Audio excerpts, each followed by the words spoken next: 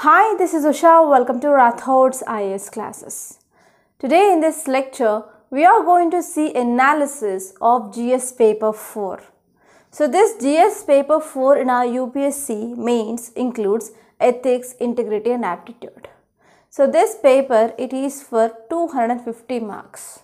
So this paper is I can say it is one of the deciding factor and this paper will decides whether your name will be there in the finalist or not. So four papers that you have to prepare well to see your name in the in this clearing of this mains is the first one it is your optional paper. So optional will be like 500 marks and will be having two papers. You have to focus on these two papers paper 1 and paper 2 of your optional and the second one is your essay and next one is your ethics. So these three are very important to clear your UPSC mains.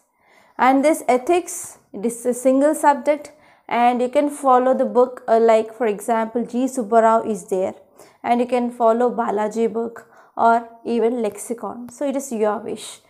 And actually I want to say one thing here is, so in this ethics you will be having two sections. So section A will be there and section B will be there and this section A which includes mainly your theory part and this section B you will be having case studies. So you will be getting theory of around 120 to 130 marks and this section B of case study that is about 120 to 130 marks. So in this year 2022 UPSC mains in this section A that is from theory you got 130 marks and from case studies you got 120 marks. So total if you add this theory and case studies it will be like your 250 marks. So if you prepare theory well and if you are implying or if you are applying those theory concepts in your case studies yes you can get a good marks. So please believe me. So in this year 2022 ethics paper it is very easy than compared to of this previous year's papers but it is very lengthy to read and also to write. So the drawback here is yes this is very very easy because questions are directly asked from our syllabus. And even what are the thing that we studied in our ethics uh, course that are directly given in this year paper? And also I want to say this year paper is a well structured paper. And you can stick to the word limit to complete your paper within the time of 3 hours and the questions are divided properly and examiner communicated properly like so what they are expecting from the student. Okay? So a drawback is it is lengthy to read and also lengthy to write. So now if you see the analysis of this year paper especially if you're talking about either essay or this case uh, studies or this theory of ethics so what we write which depends upon the way you approach that so and so topic. So I can say some examples. I think you might wrote some other examples. So there is no particular correct answer. So whatever you write, so try to give the examples such that examiner will understand your way of approach. So now let us try to see just analysis of this GS paper 4 here and in the future lectures we are going to see each and every question question by question and we are going to see what to be the introduction, what to be the body and how you can conclude your uh, answer and even we are going to talk about some other diagrams or any flow charts diagrams and also some charts that we can include here. So we are going to see in our future series. Don't worry about that. The first question is wisdom lies in knowing what to reckon with and what to overlook. So this question is about wisdom. An officer being engrossed with the periphery, ignoring the core issues before him, is no rare in the bureaucracy. Do you agree that such preoccupation of an administrator leads to travesty of the justice and to the cause of effective service delivery and good governance critically evaluate? So if you are talking about this question, so here you have to identify the keywords. So the keywords here is here bureaucrats. They are looking just periphery but not the core issues. So this is the first thing. So whenever, whenever bureaucrats, who tries to address any scenario or for example any rape issue or any untoward incident. So they are focusing on just periphery rather than the core core issues. So this is the demand of the question and you have to give the examples like what happens if a bureaucrat who looks into the periphery of the issue but not going into the core of the issue. Okay. So you can write about the way how these bureaucrats they are, they are seeing any issue or any untoward incident on the periphery why they are not going into the core issues. So here you have to focus on how the justice delivery system is affected and you can talk about how effective delivery of justice can be ensured and you can talk about even good governance. Okay, so this question is from the topic of good governance. So in this way you can give some examples and try to explain the explain the concept of how can we ensure effective service delivery system, how it is affecting this travesty of justice. Okay, so this is the first question. And the second one is 1b.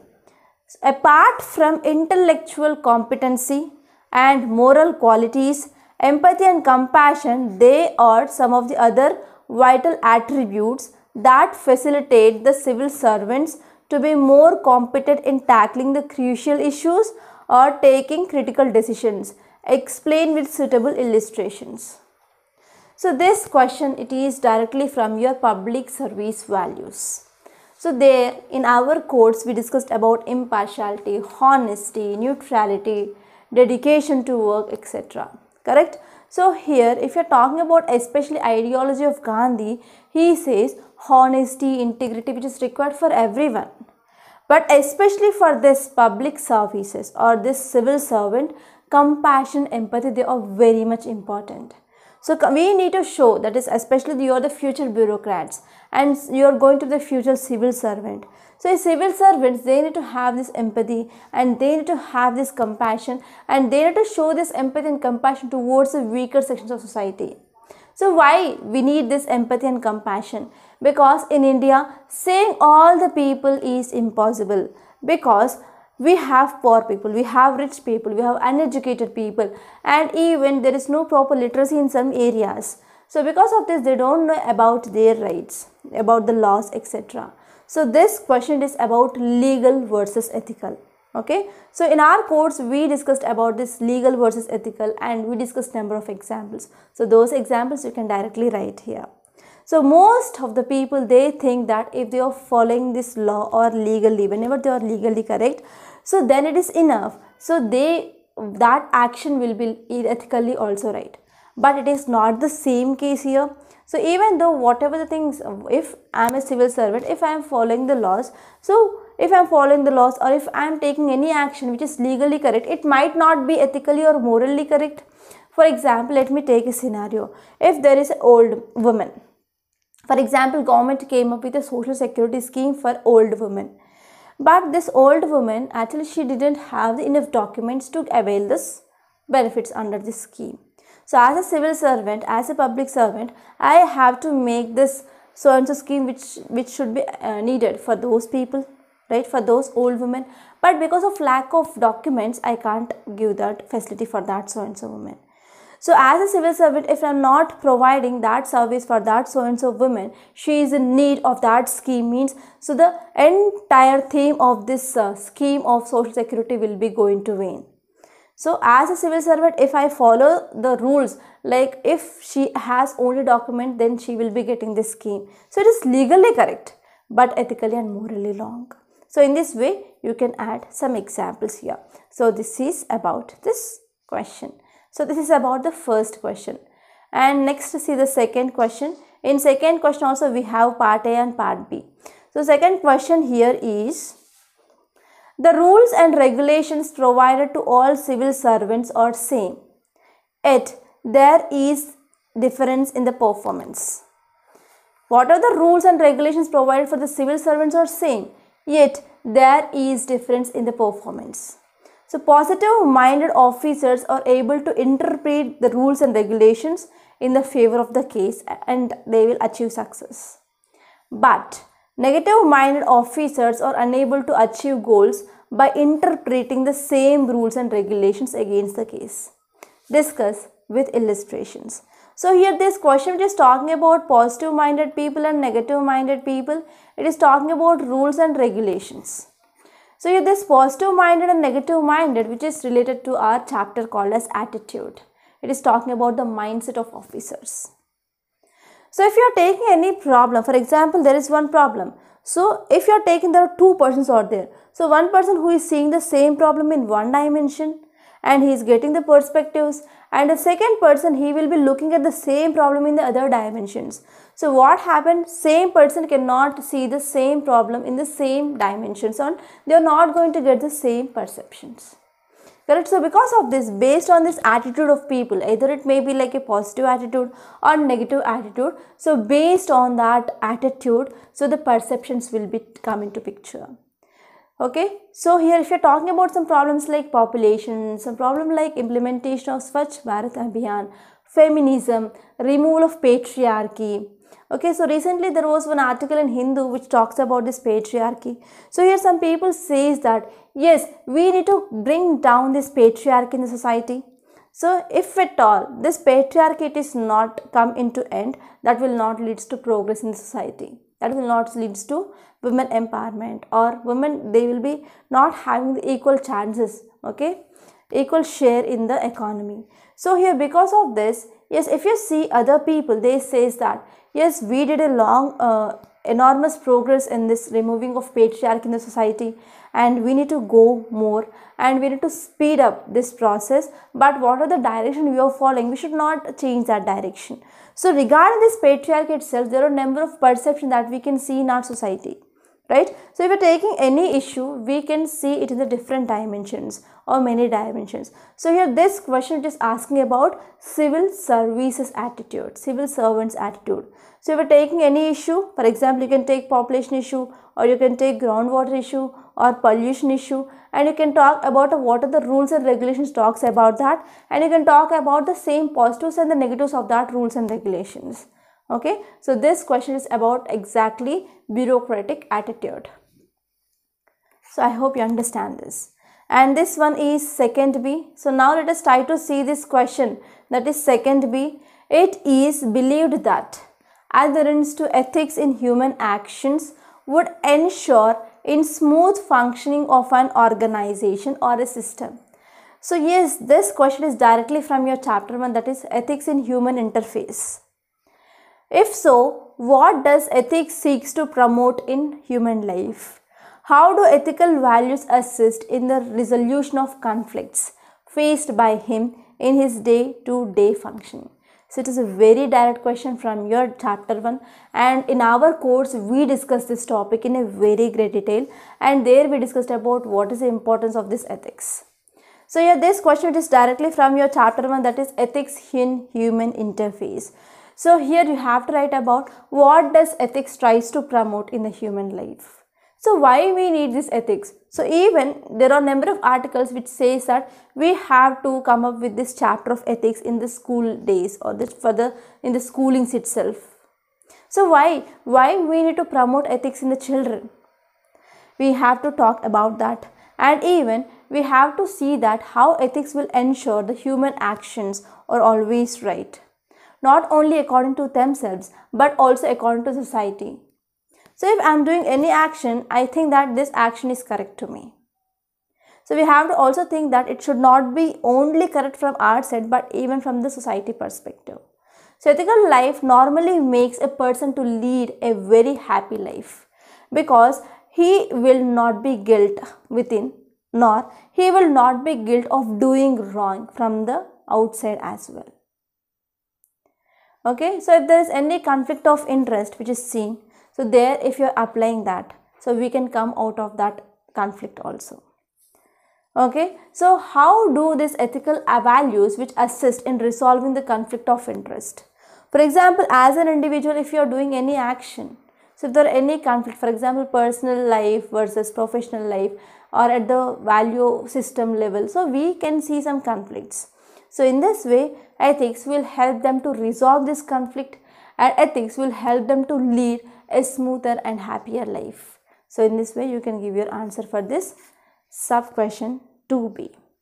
And now let us see the next question that is third question. So in this third question we have three sub questions A, B, C.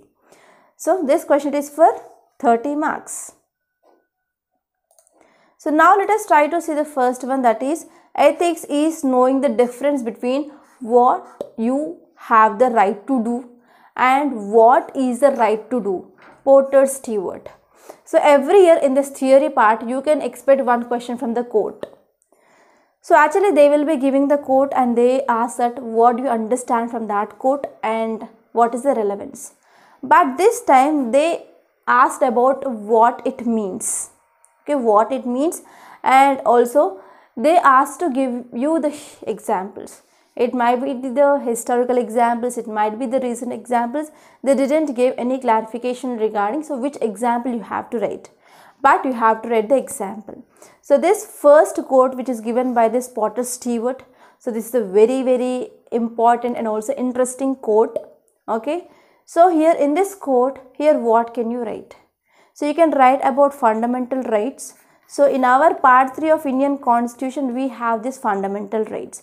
For example right to religion okay that is a freedom of religion.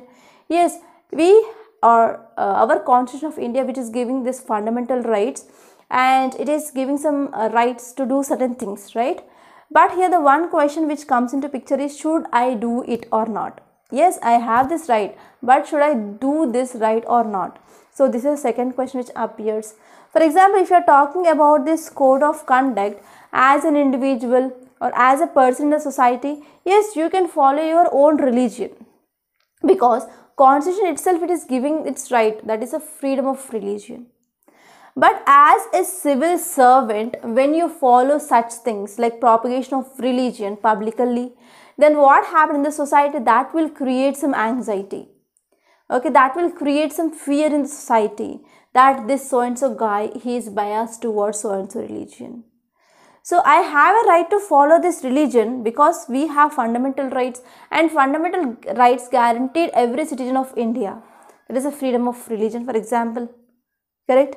But is it right to do so as a civil servant?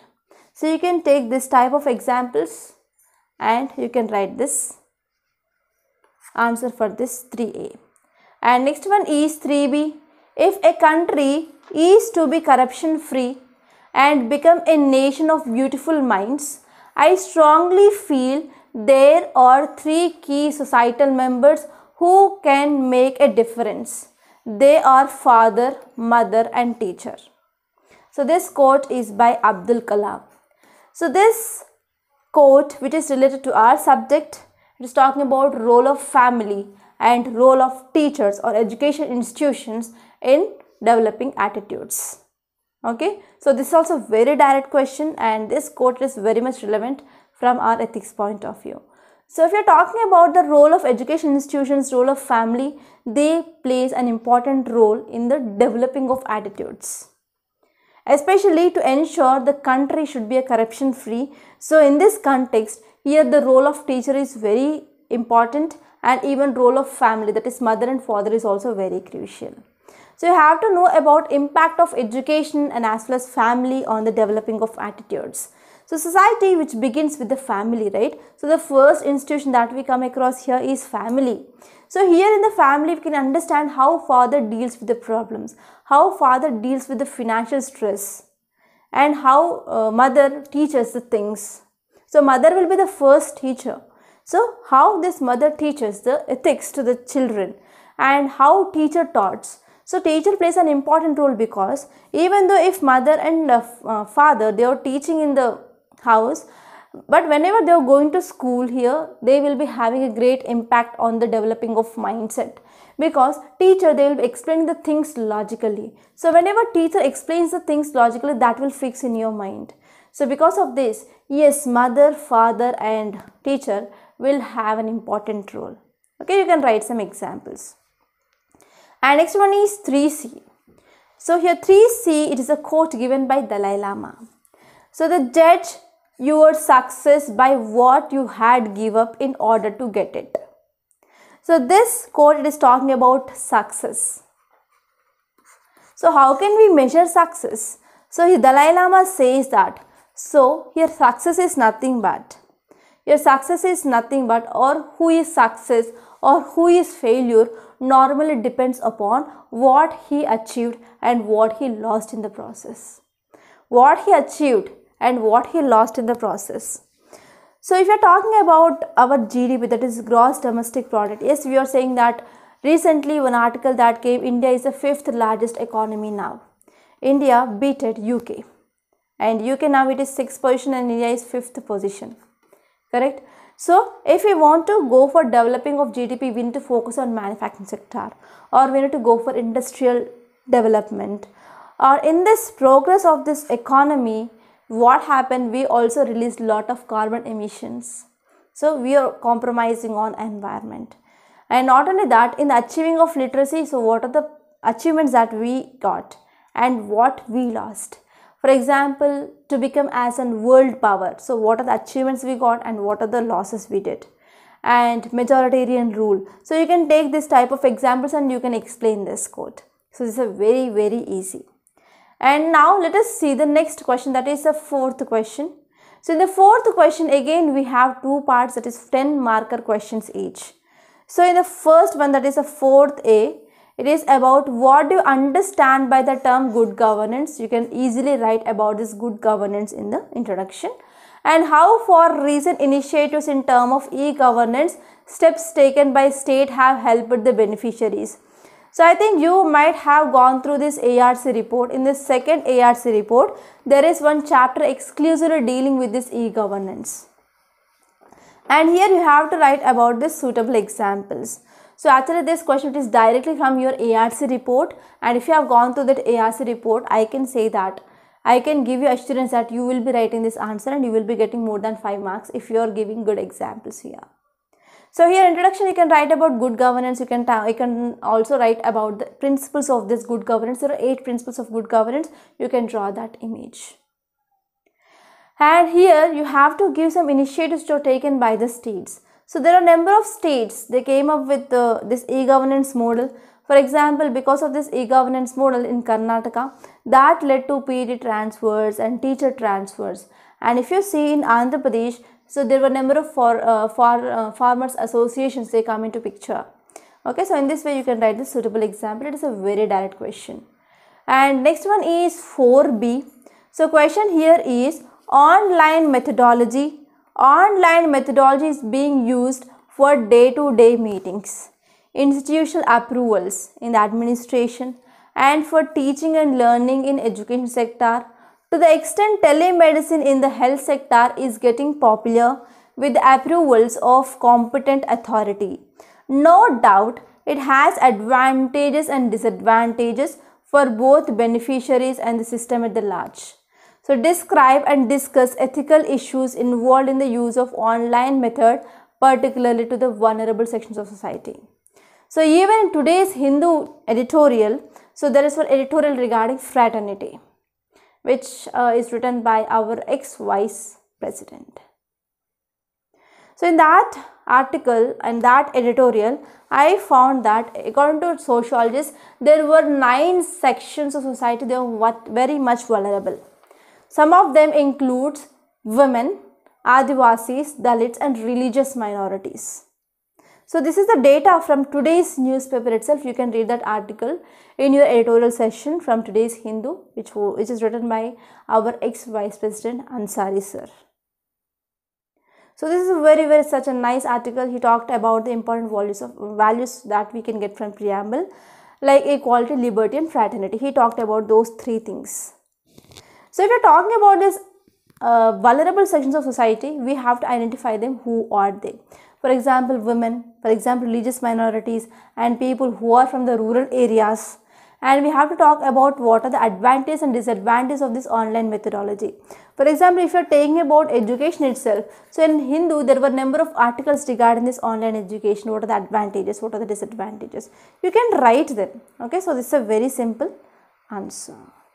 And now let us see the next question that is the fifth question. So in this fifth question also we have two parts that is part A, part B and two questions are for 10 marker question. So first question here is Russia and Ukraine war has been going on for last 7 months.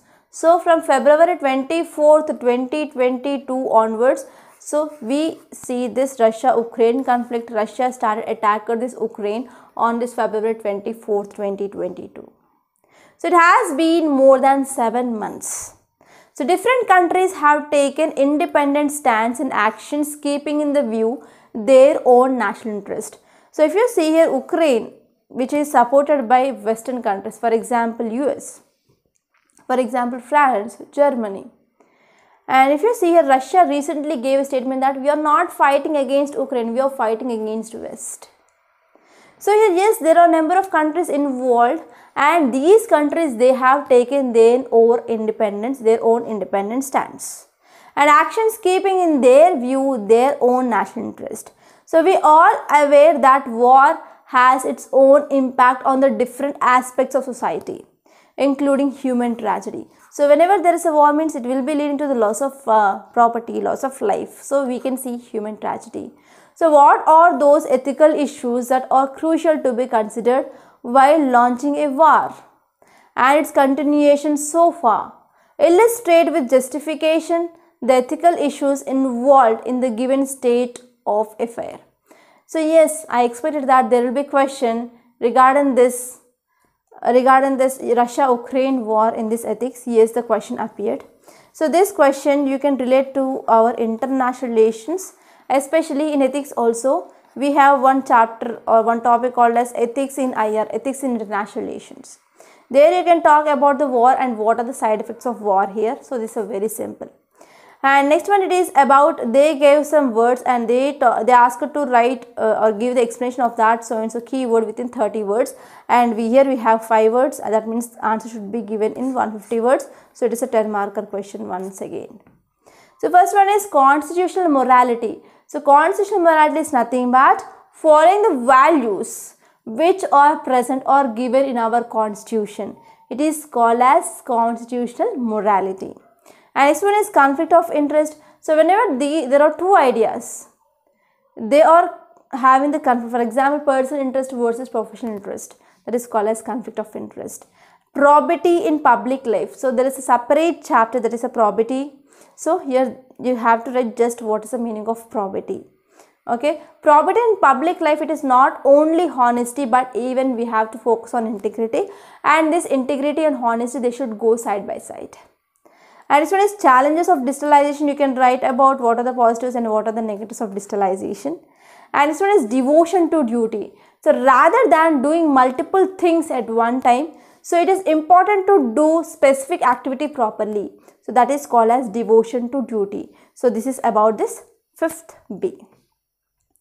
And next one is about our last question in our theory that is sixth question. We are here we have two parts. So first question is whistleblower who reports corruption and illegal activities, wrongdoing and misconduct to the concerned authorities, runs the risk of being exposed to grave danger, physical harm, victimization by the vested interest, accused persons in his team, what policy measures you uh, would you suggest to strengthen protection mechanism to safeguard these whistleblowers? So regarding this whistleblowers also we discussed in detail in our course and even in our second ARC report there is one chapter which talks about this whistleblower. Okay. So here this is a direct question and next one is 6th B. In contemporary world corporate sector's contribution is generating wealth and employment is increasing. In doing so, they are bringing in unprecedented onslaught on climate, environmental sustainability and living conditions of human beings. In this background, do you uh, responsibility CSR is efficient and sufficient enough to fulfill the social roles and responsibilities needed in the corporate work mandated critically examine. So this question is about CSR that is about corporate sector for example. So actually there is one topic in our ethics syllabus is ethics in corporate sector. okay ethics in corporate governance so this question is directly from that topic and here regarding this csr also you have to think it about this ones and this csr it is also seen in use and try to write answer for this question and next it is about section b. Section b we will be having case studies. And there are six case studies in this year paper. And each case study it is 20 marker. So 16 to 20 we have 120 marks from this case studies. So the first case study is about this Prabhat. So Prabhat was working as a vice president at Sterling Electric Limited. Actually it is a reputed multinational company but presently the company which is passing through difficult times because the sales are continuously showing downward trend in the last two quarters. So his division with hitherto uh, had been a major revenue contributor to the company's financial health. So his his role is very important. This Prabhat role is very important for this company's financial health. And trying to procure some big government order for them. But their best efforts did not yield any positive success or any breakthrough. So he is a professional, his, he was a professional company and his local bosses they were under pressure from their London based HO to show some positive results. So, in the last performance review meeting taken by this executive director, he was re reprimanded for his poor performance and he assured them that his division is working on a special contract from Ministry of Defence for a secret installation near Gwalior and tender is being submitted shortly. He was under extreme pressure and he was deeply uh, perturbed with ag what aggravated the situation. Further was a warning from the top that if the deal is not clinched in the favor of company, his division might have to be closed and he may have to quit this job. Okay, so this is about one side. So he will be losing the job if he is not going to get the deal. And on the second dimension, so he is also facing deep mental torture and agony. His pertain to his personal precarious financial health. He was a single earner in the family. So here, this uh, case study is also linked to the family with two school college going children and his old ailing mother. The heavy expenditure on the education and medical was causing a big strain to his monthly pay pocket. Regular EMI for housing loan taken from the bank unavoidable and any default would render him uh, liable for a severe legal action. So in the above backdrop, he was hoping for some miracle to happen. There was sudden turn of events. His secretary informed that a gentleman, Subhash Verma, wanted to see him and he was interested in the position of a manager which was to be filled by him in the company. He further brought to his notice that his CV was has been received through the office of Ministry of Defence. So during the interview of the candidates, Subhash Verma, he found him technically sound, resourceful and experienced marketer.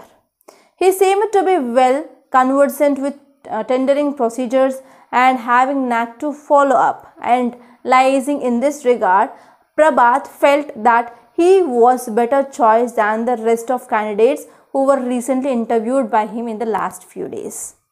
Subhash Verma also indicated that he was in the position of the copies of the bid documents that Unique Electronics Limited would be submitting the next day to the Defense Ministry. So here this is a, one of the rivalry company for this company, Sterling Company.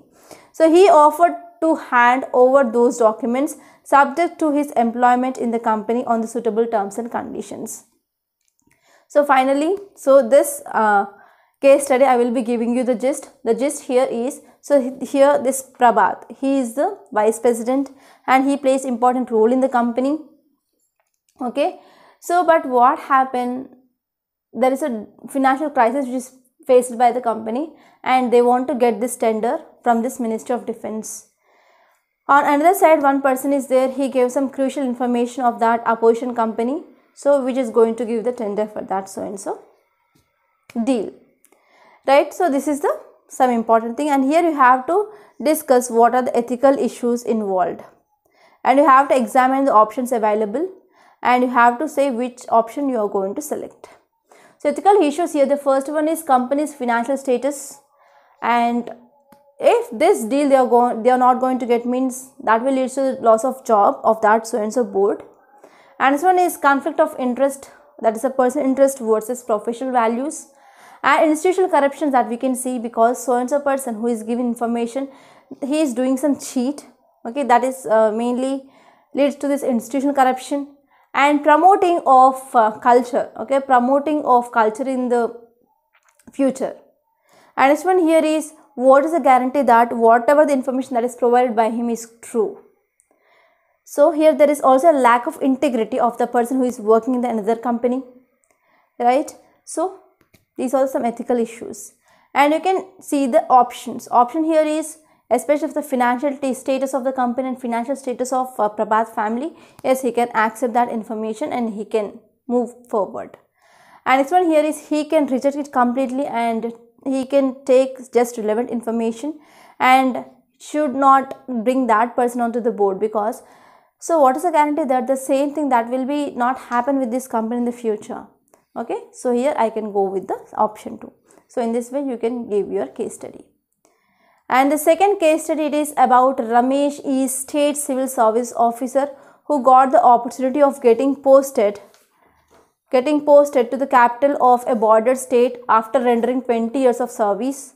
Ramesh mother has recently been detected cancer and has admitted in the leading cancer hospital of the city.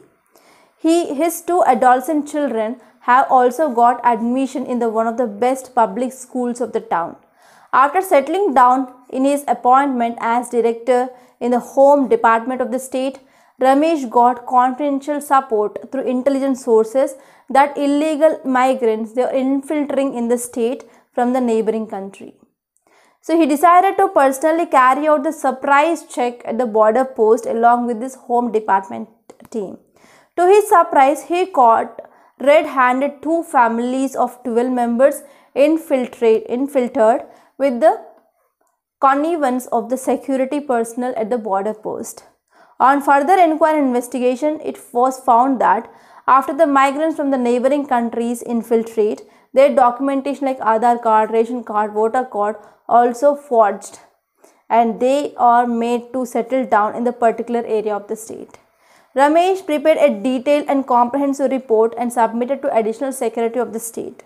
However, he was summoned by the additional home secretary after a week and was interest, um, and was instructed to withdraw the report. So the additional home secretary informed Ramesh that the report submitted by him has not been appreciated by higher authorities. He further cautioned him that if he fails to withdraw this confidential report, he will not only be posted out of the prestigious appointment from the state capital, but his further promotion, which was due in the near future, will also get in jeopardy.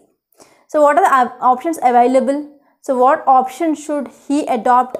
Critical evaluate each options. What are the ethical dilemmas and what are the policy measures? So actually there are five sub questions. That means each question will have four marks. So actually these questions which are not given in order. So first of all, try to start with ethical dilemmas. So after writing ethical dilemmas, you have to write about what are the options which are present. And you have to evaluate them. That means you can write positives and negatives. And you have to write which option you are going to choose. And you have to at last you can suggest some way forward. So in this way you can approach this case study. Okay so here this uh, case study which is talking about illegal migration correct and here especially in this border areas so it is an issue of national security so here you have to focus on national security. It is very much important than the personal option or the growth.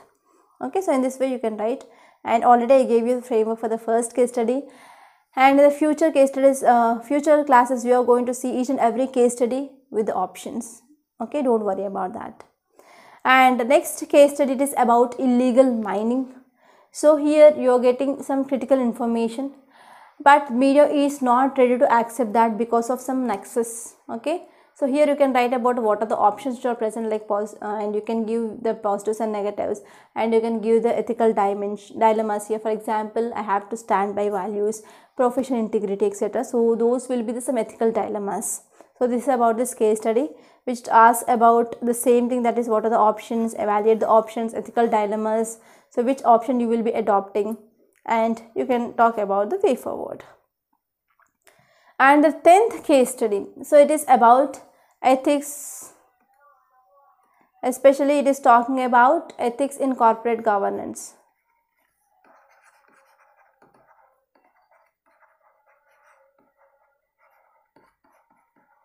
it's talking about ethics in corporate governance. So it is also simple. So try to write answer.